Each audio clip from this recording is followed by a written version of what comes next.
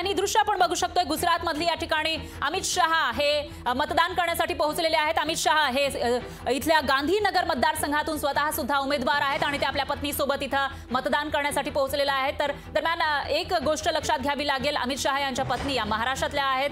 त्यामुळे अमित शहा हे महाराष्ट्राचे जावई आहे असं म्हटलं जातं. कोल्हापूरच्या त्या आहेत. दरम्यान कोल्हापूरमध्ये सुद्धा काही दिवसांपूर्वी अमित शहा आलेले होते आणि आता ते आपला मतदानाचा हक्क बजावताना दिसून येत आहे. देशाचे गृहमंत्री राहिलेले अमित शहा हे हे या ठिकाणी मतदान करताना दिसून येत आहेत. ते आता लोकसभेच्या रिंगणामध्ये उतरलेले आहेत. गांधीनगरमधून गुजरातच्या गांधीनगर हा मतदारसंघ भाजपचा बालेकिल्ला मानला जातो. या ठिकाणी भाजपकडून आतापर्यंत बऱ्याचशा नेत्यांना निवडून दिलेला आहे. त्याच गांधीनगर या मतदारसंघातून अमित शहा हे निवडणूक लढवत आहेत आणि आता अमित शहा हे कुटुंबियांसमवेत इथं आपला मतदानाचा हक्क बचावण्यासाठी आल्याचं पाहायला मिळते अमित शहाच्या पत्नी आहेत. त्याचबरोबर त्यांचा मुलगा जे बीसीसीआयचे अध्यक्ष सुद्धा आहेत.